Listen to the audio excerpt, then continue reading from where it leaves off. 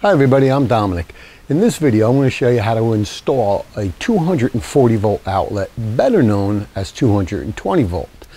Now, first thing we want to do, we don't want to start running wire throughout the house or wherever it may be. We want to make sure our panel can take another another outlet and a 240 volt outlet, which is going to be a, a twin pole breaker, which is going to take up two spots. So let's get into this panel. Okay, let's look at our panel first before we take the cover off. Right here we have an empty spot. That's good for 120, 120, one, maybe 120. We have a couple spots down here. This would be the area that I'm looking to put our new outlet. Now, uh, you know, we have like a 220s here. You can see this is a twin pole, okay? So that's grabbing both hots, and I'll explain that in a minute. So let's take this cover off and let's look to see if we actually can have the room here to put that outlet in.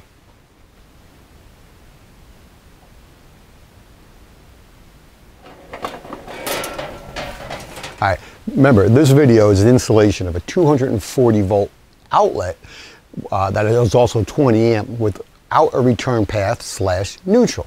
So, but first, let's get into the panel so you better understand the panel. Now, if you're watching this video, you really don't know about panels. Okay, so let's just give a quick breakdown. Here are our two hots. See those two big gigantic black wires coming in? Those are our two hots. Each one is 120 volts. And this is our neutral, uncovered aluminum wire. And they're gonna come down, come, comes down through our breaker, and it comes down to each bus bar. Now, you got this one, you, know, you look at it, it's like, okay, it's going straight down. It actually, pretty, for a better choice of words, it doesn't go straight down. It goes down, it moves over, comes this way, comes this way, comes this way, comes that way, and that, and then the same one, the same way with, with the other one. This long one here, see all our white wires? That's our neutral, and over here is all our ground, okay? So what we want to do is look down in here, and then you'll better understand what I'm talking about. This is the area that we want to install our new breaker. If you look right here, we have our one hot bus bar comes down, and the other one, like I showed you before, which is kind of covered by these breakers. And you have these fins that come off that will alternate from one side to the other, like this and like that and like that. So not all your connections are done on one hot on one side. Now, if you look at our breaker, see how we, our connectors here that are going to slide right on to those fins. So if you look, see how that's going to line right up, which is going to grab this one and that one, hence 240 volts. So uh, before we connect this, let me show you a little bit about breakers. Okay, now we're ready to move on to the breaker. Now, obviously you don't have a breaker. Best thing, if your panel is made by GE, get a GE breaker and make sure it's the correct one. If you look on the panel, of you know the panel that we took off, it will tell you what what breakers will work in that. Uh, if you still can't figure it out, your, your cover's all chewed up, just take a breaker out, bring it to the store, and tell them that what you're looking to do. You're looking for a 20 amp twin pole breaker uh, that's the same as this breaker, more or less, same coding that it works. Okay, so let's get going and installing our breaker into the panel. I'm going to install our breaker. Make sure the breaker is off. On the breakers, we have a little hook in here that's going to connect right into this uh, strip right here. It's going to lock in. So we're going to go like this. You're going to go gentle as that locks in. Feel that it's locked in, okay? Then you see that? It's like a little hinge. Now we're going to push it in. Boom, boom. And that just slid right on top and is now connected. Okay, now I went ahead and turned my panel back on and I'm going to turn the breaker that we just installed. And this is only for testing purposes. Remember, we're all hot here now. And if you are scared to be this close to a panel that's open and that's live, honestly, you shouldn't be doing this. But we want to do is test it before we go any further. We're going to grab our hot right now. So that's hot now, and that's grab it from the top. we're going to go to our neutral. And if you look at our voltmeter, we have 124 volts. Well, that's not what we're looking for, right? We're looking for 240 volts. That's fine. But let's test each one. Now I'll go to this one. Now we have 124 volts across.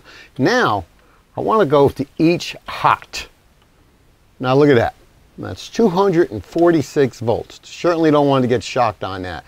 That is what we were looking for. So now the rest of this, this whole installation is going to go like a dream. So we know we have it at the panel. Let's turn our breaker off and let's turn our main okay, now it's time to start running our wires. Now, the, for the, the purpose of this video, I'm just going to use a metal box. I'm going to put it right up on there. I don't think I need to show you how to screw a box to a wall. Now, if you're not really comfortable, you know, going into the panel, you know, that's fine. You can hire an electrician to go over your work and do your connections at the panel. And honestly, it's probably really recommended. Uh, this video is intended really to give you the whole idea how it works, you know, maybe save you a lot of money. Now, you're running a wire from here to there. If you were to do that yourself and then have an electrician do everything else, how much money do you think you really saved? Not much. But if you're running it, you know, across the room, through a basement, all that stuff, well, you know, a couple little tips on how to run a wire, and you can certainly run the wire and save a lot of money. And electricians, yeah, they'd be like, yeah, no problem. Go ahead, run the wire. Okay, so I'm just gonna throw this box on and then we'll get start running to get our wire from our breaker out of the panel. And we have all our knockouts here. Uh, we don't have many on the sides and, and this is great because this is where we're going. We're just going with a short wire from here to there.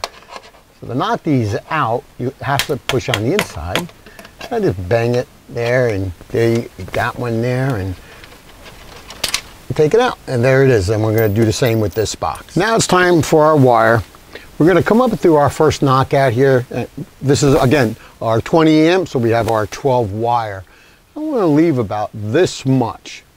Might seem overkill at the moment because our breaker's right here. And what we don't want to do is do something like that. Okay, so let's get enough wire out like that. Get a little measurement with your finger.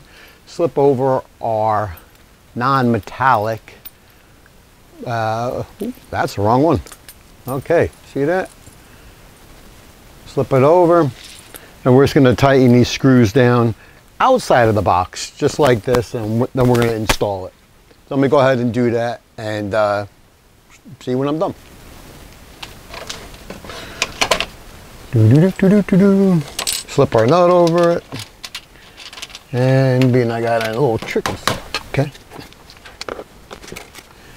Now that our wire is installed, now quick look at it. I mean, it's not a big beefy six wire or anything. It's a 12 gauge wire. Got lots of 12 gauge wires in here for the kitchen, bathroom, whatever. But this one's gonna be a 240 volt, 20 amp. But how do we know that? By looking at it, we don't know anything. The electrical inspector doesn't know. And anybody coming in afterwards, or even yourself, uh, a week later, an hour later, whatever it may be, you may forget what you had intentions on doing. By code, by NEC code 200.7, is that by point of entry, both these spots here have to be identified. The black we already know is hot, but the white, that could be a neutral, be a neutral here. Well, we need to identify it. One way to identify it is using tape. Uh, you can use uh, red tape, black tape. You just can't use white or green tape. I could just identify the wire like that. And of course, this one here, you gotta just identify it, okay? So when we're looking at this wire, we know that it is intended to be hot. Voila.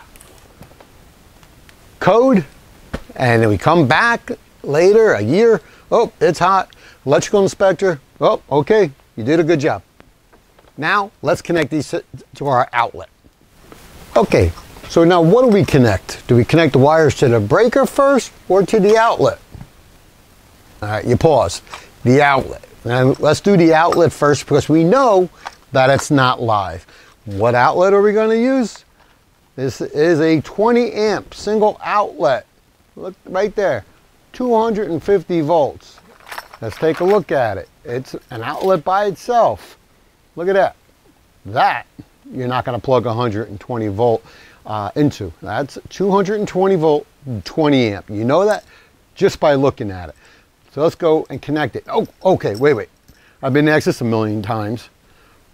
Our ground, right? Follow the ground, look, all the metallic here, all out there to the screws, that's ground.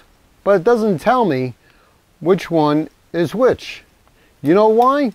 Like I told you earlier, electricity is smart, but it does not know colors. It's both. each one of these screws is going to represent each hot coming in. Remember I explained it to you earlier? So it doesn't matter where our white wire goes, our black wire, it doesn't matter, but it does matter that they are connected.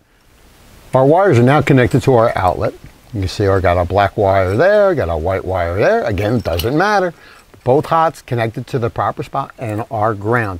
Now, being that this is a metallic box, uh, we had to ground it. So we put our grounding tail and the pigtails to the ground and just came off like that. Chances are you're not going to be doing it like that, but if you are, that's what it is. Again, this is dead. The other wire is not even connected. Now for the metal box, uh, we gotta go ahead and just put our cover on it. I'll go and uh, put this cover on it and um, meet you in the... Now that we have our outlet all wired, installed, and with the cover on it, now we wanna go, we want first want to install our ground. We're gonna be looking for a empty spot. We got one right there. Put a nice 90 degree bend in the wire. You know, it's important to keep everything nice and clean cut the wire, stick it in there, and we will uh, tighten that down. Then we'll move on to the uh, breaker. Now we have our ground wire together. Let's get our two hots. Now I explained, our two hots are going to our new installed breaker. There is not a neutral. And now what is a neutral? A neutral is a return path. We have it here, but we don't have it here. And that's what we want, okay? 20 amp 240 volt outlet. But look how long our wire is. So can't we just go up with the wire, turn, cut the wire? Yeah, we could. But suppose later on, uh, we got to move things around for other installations and now we want to put this breaker over here and blah, blah, blah. Excuse me. So this is what we're going to do. Nice and neat. We're just going to fold the wire over like that. We're going to come up to the breaker about like that. You know, we want to leave that extra wire. It's going to be real, real important. It could be real important later on or never at all. Okay, so one side of the breaker do I connect our white wire? It doesn't matter. Stick it into the breaker. Now I'm gonna I'm gonna show you a close up of this uh, in a second. Let me go ahead and connect this. Now make sure your panel is off because you know breaker's off. If the breaker was on, I mean, I'm good because I'm holding rubber and plastic here. But if I touch that metal, that's it. Take all my hair out. All right, so we go ahead and connect, finish connecting these, and I'll show you how we're actually connecting it. What we're, what I'm looking for, you just can't see in the camera here. So let me get a another breaker Let me show you what I was doing. I'm putting the wire in the clamp here and tightening the screw as I'm holding the wire. Now if you look, there's a little bit of bare wire coming out. That's one thing you want to make sure that you have because if you don't have, you know, you could be clamping down on top of that insulation and it may or may not uh, make enough contact for it to last a little while. So that's what we're looking for, nice and strong connection. That's what I was doing when you really couldn't see. Okay, I wouldn't turn the panel on without putting the cover on, because you know, I got to show you guys what I'm doing here. Now, I'm not a crazy fan of leaving a lot of extra wire, but let me tell you, I'd rather leave the extra wire than not leave it because, you know, you, you just don't know yet. Okay, so let's go ahead and turn the breaker on. Hey, no sparks, no fire. Okay, so now our wire is now hot. We both, on each wire, got 120 volts running to each, each side of our outlet. So let's go ahead and check our outlet. Let's first go to ground. Let's go. Boom, there, see that? We got 124 volts.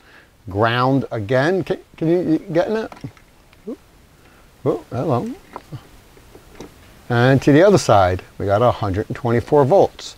Hmm, let's go together. That's what we're looking for. Look at that. 245 volts. That's what we're looking for. Excuse me. And this is why we call it a 240 volt outlet. It's no longer 220 volt and it hasn't been 220 volts for a long, long, long time. Anyway, that's how you do it. Now we're gonna put our cover on, uh, do our proper knockouts for the front cover there, uh, which I really can't show you because I don't have to do it on mine. Anyway, any questions, comments, please leave them below. I answer all of them. Thanks for watching.